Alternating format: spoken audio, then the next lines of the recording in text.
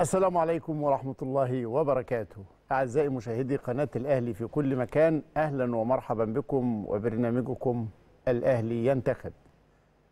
خلاص العد التنازلي التنازلي تسارع بنسبة كبيرة جدا لا يبقى غير ساعات قليلة وتنعقد الجمعية العمومية للنادي الأهلي بإذن الله تعالى يوم الجمعة لانتخاب مجلس جديد يدير النادي لأربع سنوات قادمة.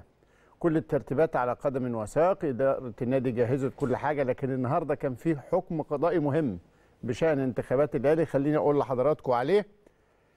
آه، قضت المحكمة الإدارية العليا بمجلس الدولة بقبول الطعن المقام من وزارة الشباب والرياضة وألغت المحكمة حكم أول درجة المتضمن قبول دعوى الأستاذ وليد الفيل في الترشح على مقعد نائب رئيس النادي.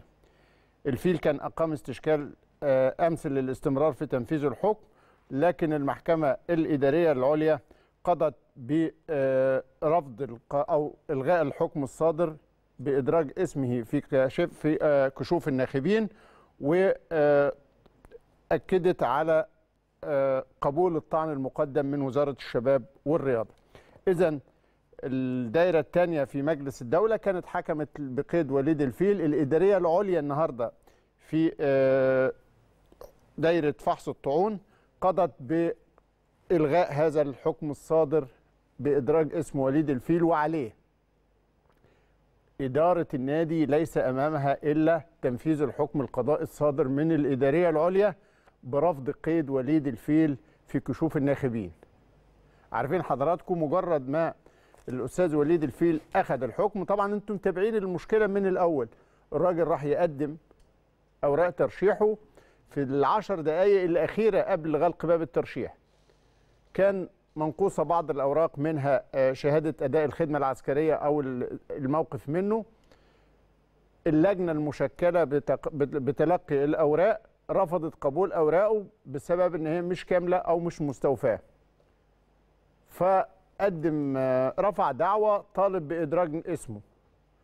منذ أيام حصل على حكم بإدراج اسمه. إدارة النادي الأهلي كانت واضحة جدا إن هي رفضت الطعن على الحكم ورحبت بقيد اسم العضو في كشوف الناخبين أو المرشحين. شأنه شأن كل القائمة اللي شملها قرار الترشح. لكن اللجنة الأولمبية طعنت ووزارة الشباب والرياضة طعنت.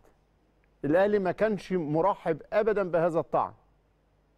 وكان مستقر الأهلي تماما من خلال الإدارة القانونية فيه والإدارة التنفيذية ومجلس الإدارة على قبول هذا الحكم وإدراج اسم السيد وليد الفيل في قوائم المرشحين.